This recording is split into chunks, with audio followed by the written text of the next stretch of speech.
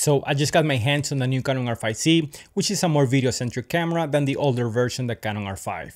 However, one of the things that is missing from this new version is inclusion of the in-body image stabilization that Canon introduced to the mirrorless cameras a few years ago.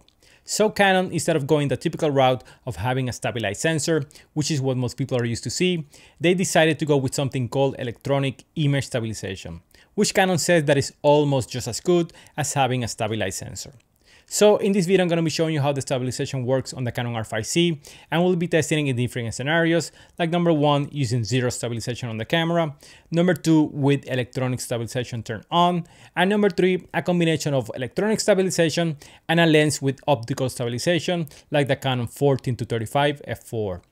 And let's see how the stabilization works doing simple things like walking, running, and doing a vlogging test.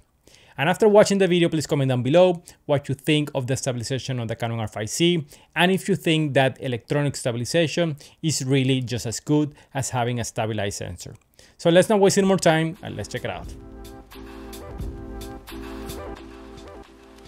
Alright, so first I'm gonna show you a walking test at 24 frames per second using the Canon 16mm RF with zero stabilization on the camera and zero stabilization on the lens.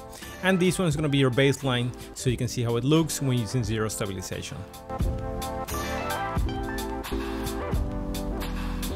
Alright, so now I'm turning on the electronic image stabilization on the camera and to my surprise, I think that it's not looking as good as I thought it would. Comment down below what you think of it.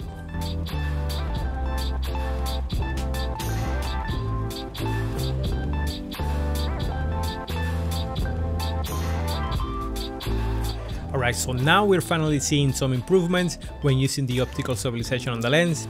In this case, I'm using the Canon 14 to 35 f4 with optical stabilization. So I think that if you're gonna be shooting handheld with this camera, you gotta get a stabilized lens.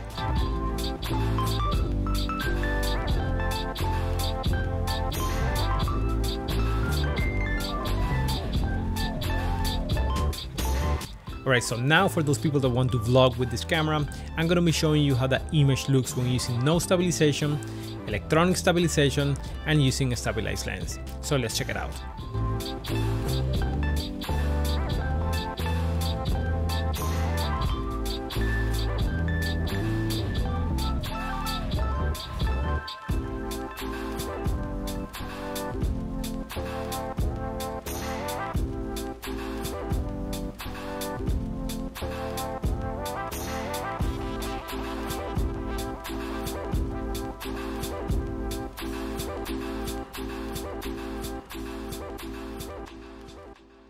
And lastly, we're gonna be doing the running test, which I never recommend that you do without a camera stabilizer, but if for some reason you have to do it, this is what you should expect from it.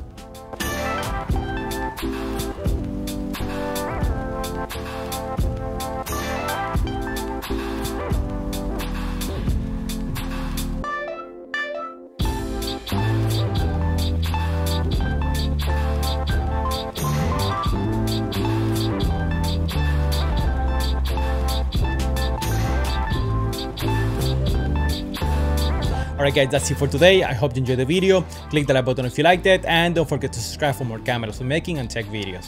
See you in the next one.